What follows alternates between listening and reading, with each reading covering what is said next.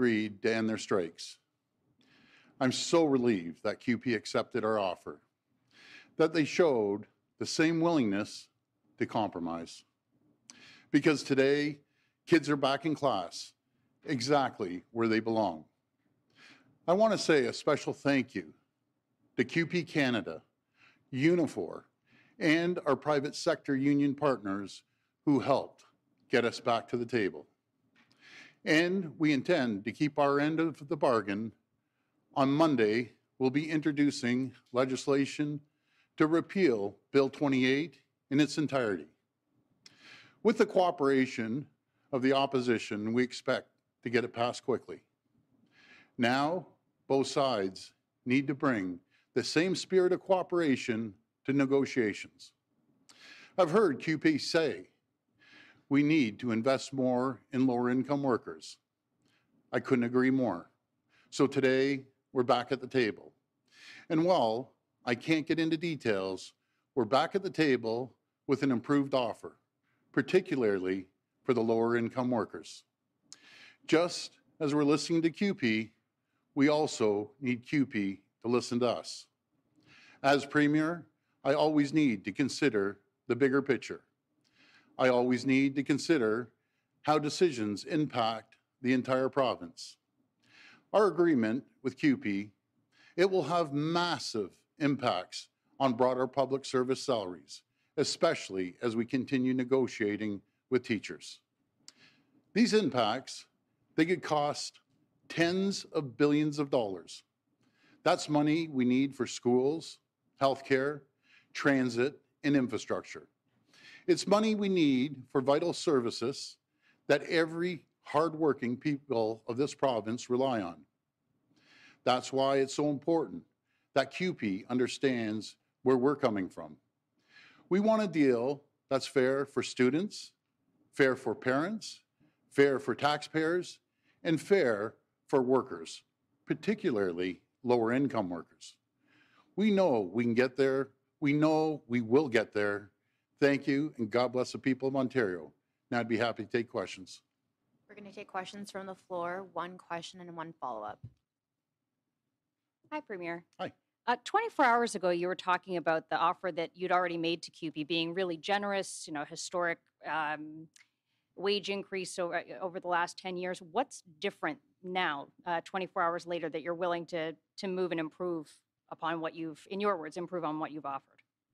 You know, it comes down to the art of negotiations on both sides. We have to sit down there, uh, give a little on both sides uh, for the betterment of, of the students, of the parents, and and the uh, low-income workers.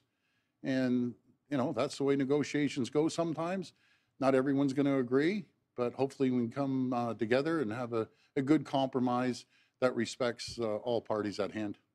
Are you willing to move on the higher paid category? Are you sticking to? I know we you were asked yesterday about people earning less than forty-three thousand. Is that just where the improvement is? Well, I, I'm sorry, I can't talk about the details uh, where we're at, but I, would love to send it over to Minister Lecce. And I, I just got to tell you folks about Minister Lecce. He works around the clock uh, many conversations between him and I. I think the other one went till quarter to one in the morning over the weekend. Uh, he's done a, a, stellar job. I'm proud to say he's the Minister of Education, and I told him through these tough times, uh, you know, keep your head up high, and he has. Uh, he's a brilliant minister, and uh, Minister Lecce has a, a bright future. I'll pass it over, Minister. Yeah, thank you. I think the what we're trying to do today is demonstrate to the people of Ontario that we are listening to parents by ensuring their kids are in school. That is the bottom line. And the Premier set out a priority in the summer. Normal, stable, enjoyable schools. Disruptions causes a great deal of impacts on a million parents, on 2 million kids. And we know these kids need to be in school. And so we were coming to the table today with the spirit of getting a deal, a voluntary agreement, a deal we always wanted to achieve on a voluntary basis that protects the in-person learning experience, uh, but also, as the Premier noted, increases those wages to the lowest paid workers within our schools. You know, not those on the higher end making north of 100,000, like for example, those on the, the teacher side, but we're talking about the lowest paid. We have always believed we need to give them more. We started with that premise, and we'll continue to make that case at the negotiating table. And I just hope we can both come to the table with a commitment to keep the kids in school uh, so that we could all live with this deal and ultimately parents could have some stability in their lives. Thank you. Good Morning, Premier Liam Casey with the Good morning. Canadian Press. Um, With unions like LiUNA coming out against Bill 28, uh, does that irreparably damage the worker-friendly relationship your government has been uh, working hard for? Not, not at all. I have an incredible relationship with Joe Mancinelli, uh, the whole LiUNA team. Uh, there's going to be things that we may disagree on. Like I said yesterday, you know, we'll, we'll agree on, I think I said 95, we'll probably agree on 98% of, of the items that we put forward. They've been a great partner on, uh, with the trades and, and, and trade centers that we can start training. They're going to be a great partner in, in building 1.5 million homes over the next 10 years. And uh, we appreciate the relationship. I, I talk to Joe frequently, and uh, we have a good understanding where we both stand. And I appreciate his support. I appreciate all the private sector's uh, support. And as I said earlier on, I want to give a shout out to uh, CUPE Canada and uh, Unifor that uh, are very pragmatic. Uh, they understand the situation we're in. They understand their, their uh, where CUPE uh, local is uh, uh, going as well. So you know, folks, I, I just, I'm, I don't want to fight. I just want the kids in school. Um, that, that's what I want to do. You know, I'm, I'm past the stage of, of fighting and, and it's not worth it. People don't want it. Parents don't want it. Students don't want it for sure. And I'll tell you, the other people that were affected were the employers. When, when you have a million kids, uh, you know, staying at home, and they don't want it. I, I talked to a grandfather, and I think I said that yesterday. And he said, Doug, I love my grandchildren, but I just had four of them dumped off at, at my home and I'm babysitting all day. So uh, do whatever you can. So I just want to thank everyone. Let's, let's work together and move forward. That's, that's all I'm asking. Thanks, Premier. So you, you said you don't want to fight, you're past fighting. Last week, it seemed like you're ready for a big fight. You brought the sledgehammer with the notwithstanding clause. What I hap- wouldn't- what happened over the weekend to do the, Oh. to do a 180? You know, I, I wouldn't say, I, I never wanted to fight from the beginning, but when CUPE got up and walked away from the table, what else do I have? Right? I, I want him to stay at the table. Let's negotiate. Uh, I don't care if we negotiate all day, all night. Um, we'll, we'll do it. I, I don't think it's really changed at all. And uh, I wouldn't call it a sledgehammer. I call it a tool, similar to they have a tool. And their big sledgehammer is going on strike. So that's, that's even more dangerous than any, any tool I ever have. Uh, Premier Rob Ferguson from the Toronto Star. Hi, Rob. Uh, Good morning. Um, morning. Just wondering, uh, we understand that there was a higher offer presented to CUPE uh, maybe last weekend that, Yeah. that they didn't accept. So is this new improved offer you spoke of uh, a few minutes ago, is it in the same ballpark? Is that that same number? Yeah, Rob, I, I really wish I could, I could tell you, uh, you know, mediator would have my neck if I did. I, I just can't. Uh, but we did offer a higher amount. I thought we had a deal. I was convinced we had a deal. And all of a sudden they came back to my office and said, there's, there's no deal. I was, I was floored. But uh, anyways, we'll go back to the table. We're going to give it everything we can. And uh, hopefully we're going to get a deal, keep the kids in class. Um, Do you think you can get a deal before the uh, legislation is repealed? I'm just wondering, because we all kind of assumed yesterday that the House might be recalled today. So Yeah. we're wondering why it hasn't been, why it's waiting till Monday? Uh, Is the union good with that? And do you Yeah. think you can get a deal? Yeah, well, I'm, I'm keeping my word. We're repealing it on, on Monday.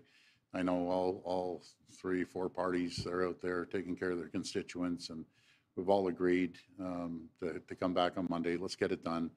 I'm sure the opposition will pass it right away, as we will. And let's continue negotiating. There's nothing more. I'd love, love to see, uh, negotiation finish, uh, by the end of the week. Is it likely? I, I can't answer that right now. I really can't. Hey, Premier, uh, Aidan Hi. Schmandy with Queen's Park Briefing. Hi. Um, I like the tie, by the way. Oh, Um, thank you. I'm going to tell you a story about that tie at the end. It's an interesting story. Um, have you ruled out using uh, back to work legislation for uh, all labor disputes for the rest of your time in office, kind of considering how this has gone? Well, like I've said before, I, I, I don't like using section thirty-three. Believe me, I don't. I, I just, you know, that's the only tool we, we had at the end of the day. Uh, but I want to look forward. I want to have some good negotiations, especially for the lower income workers. That, that's my key, the lower income workers. As the minister mentioned, You know, uh, there's other workers that are making 100,000 plus benefits, plus pension, plus 131 sick days and everything else. Um, But I want to take care of the, the lower income workers, which I always believe right from day one since I've been elected. And we've, we've shown that, no matter if we're increasing uh, minimum wage or, or giving them the rates that they, they need. So that's what we're going to focus on, the lower income workers. Um, and the vote on Bill 28 on Thursday, rather historic vote using the notwithstanding clause overriding a charter right. I'm wondering if you can explain why you weren't in the chamber to vote on that legislation uh, for third reading. I was probably out running around. I can't remember the exact timing, but uh, we have a good team that represents uh, our party. We have a phenomenal minister, phenomenal cabinet, a great caucus, and uh, sometimes the premier of the day, be it me or someone else, they're they're running around. But I, I can assure you, folks, uh, I don't leave my office till midnight every single night. Not Queens Park, even my Etobicoke one. I'm on the phone all night uh, returning calls. And you have two choices uh, if you're elected official.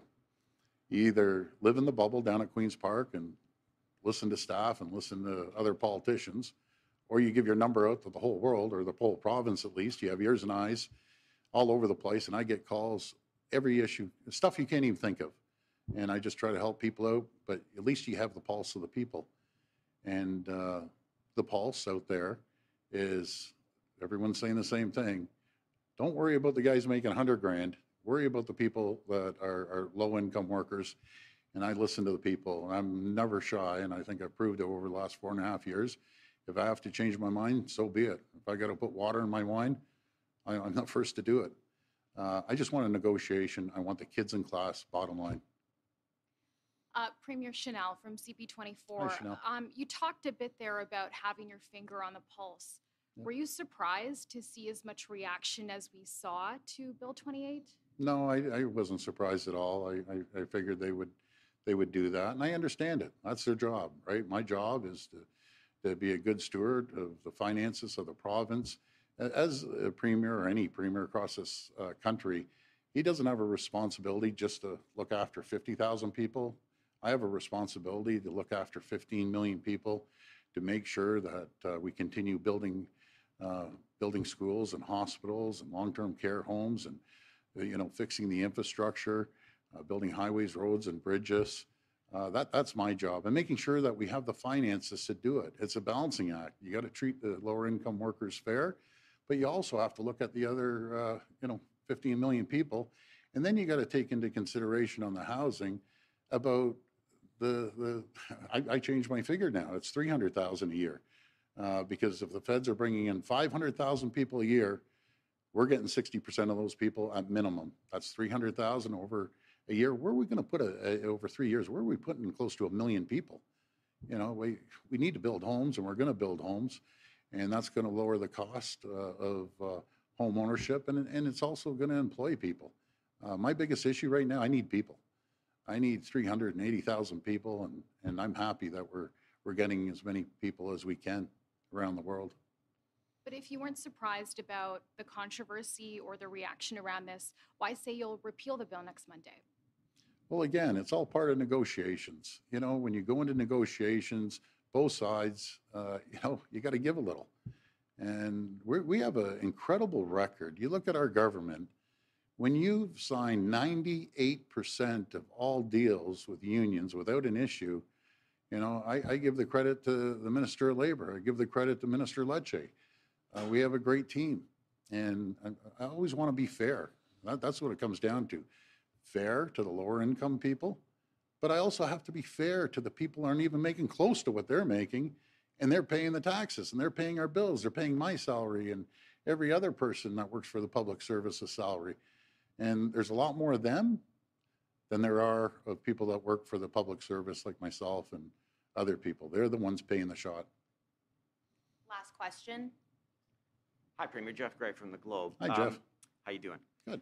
Uh, I wanted to ask about uh, a- a phrase you've used a couple times about CUPE leaving the table. Mhm. Uh, Our information is that both sides actually stayed at the table the entire time.